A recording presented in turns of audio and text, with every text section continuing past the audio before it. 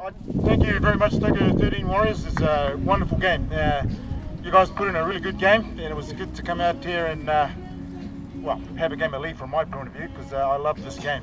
From my boys, uh, I want to thank individually all of you for coming out here today. I don't know some of you, uh, first time I met you today, and it's a great effort to uh, play with you guys today, and I hope you enjoyed it. As you heard Connie said, we've got another game on the 11th, so if you are available, or if you've got some mates who are available, come on down. So thank you very much, all of you guys. Thanks very much. Thanks, Dan.